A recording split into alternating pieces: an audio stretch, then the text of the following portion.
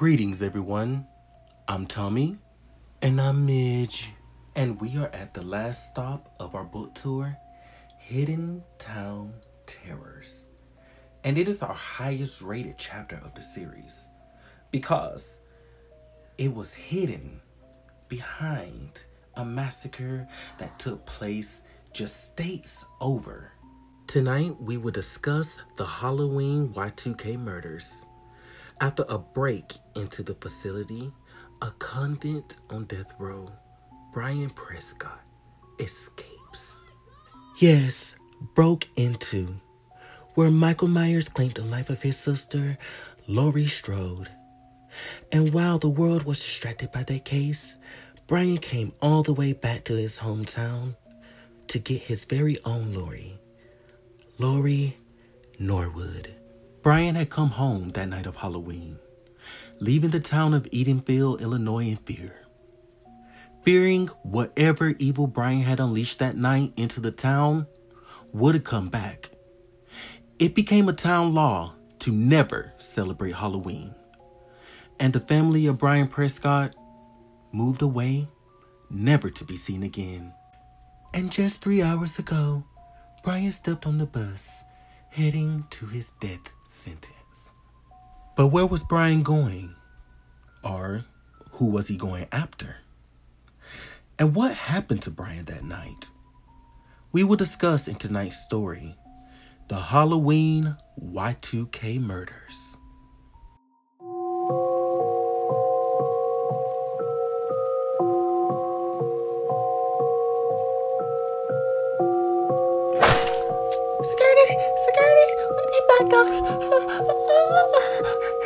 Ma'am, come down. What's going on?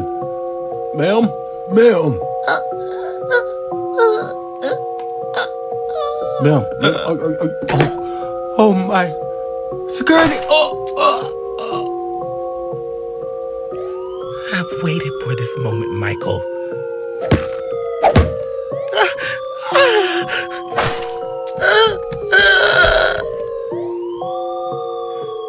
See you in hell. Michael!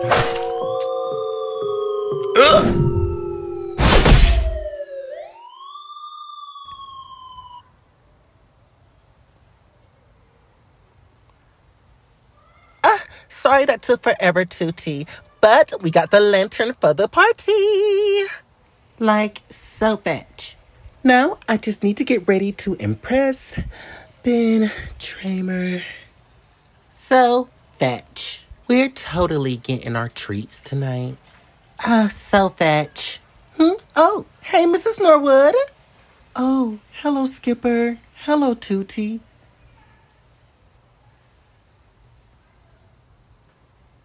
Well, happy Halloween, Miss Norwood. Bye. Uh, she's just as weird as her daughter. So not. Tutti girl, let's go. Thank you so much for shopping and you have a happy Halloween. Goodbye. Uh, girl, at this point, you should just buy the dress. It's cute. Barbie, you know I'm only working here just to cover tuition. I barely have enough money to buy panties, let alone a costume. Mm, come on, Laurie. You're like the perfect black Cinderella to put in these streets. Teresa, back me up. How about you don't and just say you did? Besides, y'all know how my mom is about Halloween. Well, you know I don't like to side with Barbie mm-hmm, or anything, mm-hmm, but mm-hmm, mm-hmm. wait, excuse me? Love you, mean it. But Laurie, you can't keep letting your mother's past traumas affect you. That's the reason I'm sort of siding with Barbie you know? See, this I can tell you don't respect your elders. Ooh. Oh, oh, okay. Come through, shimmies.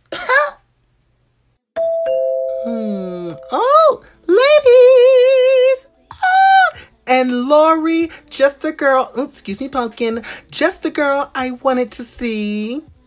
Okay, so with the question I'm about to ask, the only acceptable answer is yes. No. Oh, look at me. I'm Laurie Norwood. I'm so funny. but seriously, do you want to go to a party tonight? And No. there. Oh, well, if someone didn't rudely interrupt me, they would know that attending said party is Ben Tramer. And I'm now listening. Exactly. So, before I was so rudely interrupted, there's a Halloween party tonight. Exclusive, thrown by Ken and Brad. And you're invited, and I don't want to hear no. Hmm. What's the catch? No catch whatsoever. Barbie already got her invite, and Teresa, she's boring. So, of course, she's not going. I take offense. So, what you say? No, no, I can't.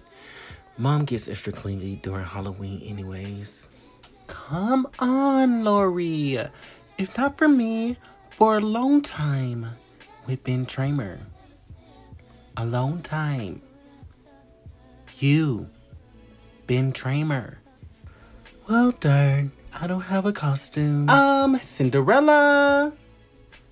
Well, I guess I do have extra savings. yes, we are going to the scare house and we're going to look flawless doing it as princesses. Yeah, sure, sweetie. Anyways, I'll snail mail the location. Meet me there 8 p.m. sharp. Actually, be 15 minutes late. Okay, ladies. Au revoir. Toodles.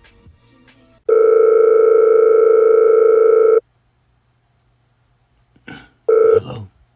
Hello, Dr. Craven. This is Dr. Hicks at Edenfield Memorial.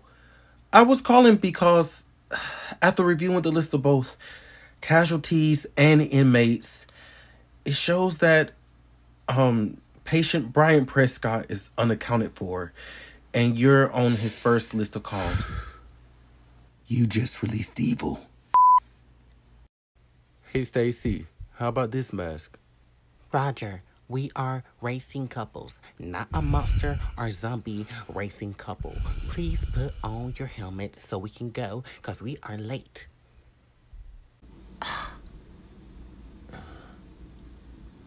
Oh, yeah. Huh? You okay? What? I'm, uh, hold on, I'm coming. PJ, what's going on? There's someone in our pantry. PJ, it's them darn Jordan kids again. One moment. All right, Jordan kids, y'all got five seconds to come out. Five. Four. Uh, oh, uh, uh,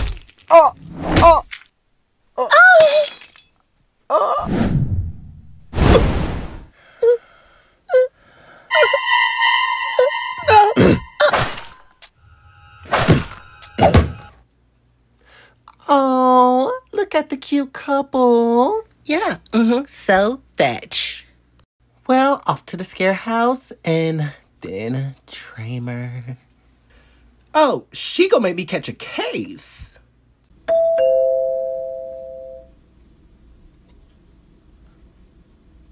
Oh, evening, Dr. Craven. Sorry to barge in so unexpected, and it's good to see you in great health. Is Laurie with you by any chance? She's staying with her sorority sisters tonight. Is everything okay, Doctor? There was an outbreak at the facility, and Brian escaped. Oh. I would feel so much oh, better no, no, knowing that you and Laurie are in my protection until he is captured. Well, come in, Doctor. I'll get her over here right now. Oh, babe, we gotta go back for my hat. And why? Because the outfit needs the hat. Now, I wasn't complaining when it took you about two hours just for us to blah blah. Let's go back then. Let's go back. Babe, hurry up. um, babe, hurry up, please. Ah, sorry, babe. Couldn't see the hole because of the freaking mask. Oh, oh, you ugly, bro. Let's go, babe.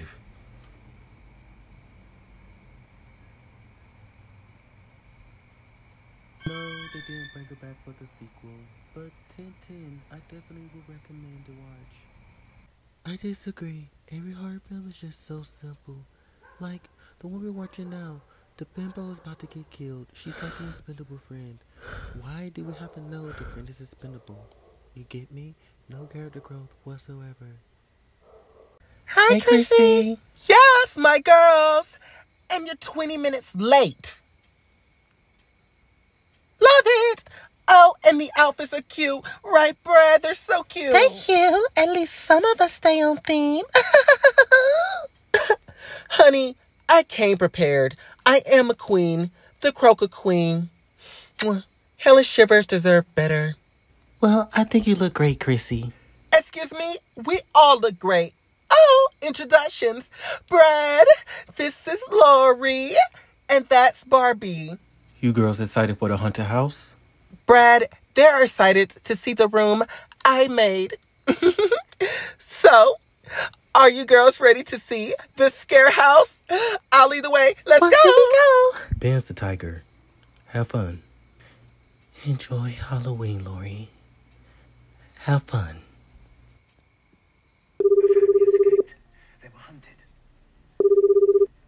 Hello. Teresa, where's Laurie? It's important I speak to her now. Um, she's asleep, but I can certainly relay the message for you. Teresa, I'm gonna need you to wake her up and let her know I'm coming to get her right now. Um, you, you, can't do that. Teresa, what is going on? Um, um, shoot. She's at a party. Teresa, where is she? Um, um, um, Elm Street somewhere. Oh, I, I, I can get the, I can get the address for you. I'm so sorry. Um, just, just, just give me one moment. M please. Street. Doctor, we gotta go. Come on, Barbie. Answer. What was that address? Uh, ah, she said check the snail mail. That's where it'll be. Oh, come on. Dial up. Answer, Barbie. Answer. Oh, oh, oh. Hello, it's Barbie. You dialed the right number, but it's definitely the wrong time. Just leave your name and number and a brief message. Ciao. Um, I don't mean to pry, but what's so significant about Elm Street? Doctor, Elm Street is where I was raised and where I raised Brian. And Laurie is riding his path because Brian is going home.